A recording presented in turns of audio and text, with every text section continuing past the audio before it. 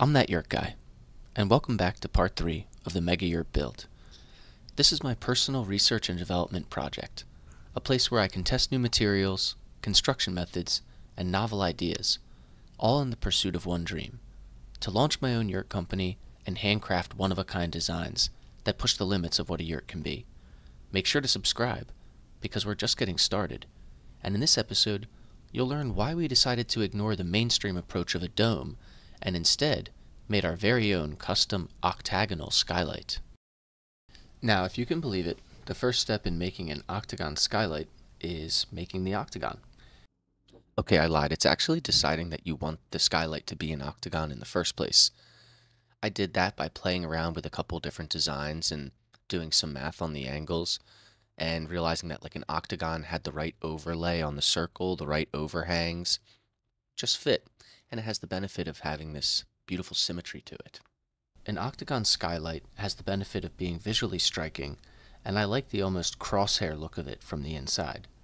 So to make our octagon, we cut 8 pieces at tidy 22.5 degree angles, and we do our usual marking and prep for cutting the slots with the biscuit joiner.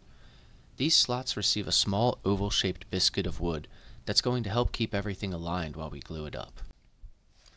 Now, wood glue is cheap and peace of mind expensive, so we really slather the glue on and insert the biscuits to make sure we get a healthy coverage in our glue joint. My preferred method of clamping these wooden rings is a simple ratchet strap wrapped around the outside and tightened, but not too much. This is where the real fun begins, and we get to solve a nice little math challenge. Don't worry, I won't make you sit through a lengthy explanation. Not because I don't want to. I'd love to bore you with the math, but because there isn't time for it in this shorter video. So the first step was to cut the initial four pieces that would make a pyramid shape, and test our cuts and angles and make adjustments until we're happy. With the first four pieces cut and test fit, I cut the next four pieces, tucking a screw into the strap to act as an extra hand in aligning everything so we can do one final test and make our last adjustments before assembly. With everything fit, we just need to come back and miter the backs of each skylight support so that the pieces of plexiglass can sit flush in our final assembly. I'm going to stay on high alert whenever I'm using the table saw. This tool has made many a four-fingered carpenter, and until I can afford a SawStop, my safety is solely in my own hands. I'll take a second to walk around and appreciate how this thing is coming together, and admire my own work before we turn to the task of sanding and prepping for stain. The stain is an optional step, but I'm matching the look of the natural red oak lattice, and I have stained the compression ring and rafters to match. As I wrap up staining our octagon base, you can see how it looks sitting on the finished compression ring. The circle sits perfectly flush with the edges, with the points overhanging. We turn to the assembly portion of the build, and I am always looking for places where I can use traditional fasteners like screws, but hide them so that they aren't visible in the final product.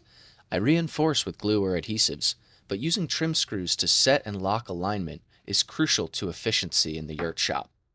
And when you're working as a one-man band, efficiency is everything. It's at this part of the process that we can appreciate all of the careful planning and adjustments that we did earlier as the assembly comes together and everything fits like a dream. With the wooden frame complete, it's time to do the easy part, a little bit of staining. I don't typically use or buy any fancy tools for this part. I just use, you know, a microfiber rag. And I feel like this helps me control the color that I get with the stain. Like if you use a rag, you can wipe the stain in and you can wipe the excess off right away and kind of see how dark you're getting. And if you want, you can always go back and do another application. But I found this to be a helpful way of kind of getting the color match to where I want it. So far, we haven't had to spend any money on this skylight. I already had the wood in the shop, and we didn't need much to begin with. But we're going to have to buy a quarter inch clear polycarbonate sheet. This is Lexan, available off the shelf at Lowe's for around $200. I make a small triangular jig to use as a template to mark and cut the eight triangles we need to fill in the eight panels of our octagon. I'm sure there's a better way to cut this stuff, but I use my grinder to cut each piece. It had the effect of partially melting the polycarbonate, which would then accumulate as a slag on the edges of the cuts. Going back with the grinder on an angle, I cleaned off that melted slag and made the pieces pretty. You definitely want to wear a respirator if you cut this stuff. Because this is the research and development yurt, I'm experimenting with butyl tape to seal the Lexan to the wood frame. I discovered this product through its RV and trailer waterproofing applications, and it serves an important function. The wood frame and plexiglass panels are likely to expand and contract at slightly different rates. If we fasten the panel directly to the frame, this could lead to cracking and failing down the line. The butyl tape provides a flexible seal that allows for that movement. We also need to overdrill the holes and use washers to give the screws room to move as well. With the skylight complete, we can set it aside until yurt raising day and turn our attention to the focus of the next episode. How do you build a yurt inside a yurt?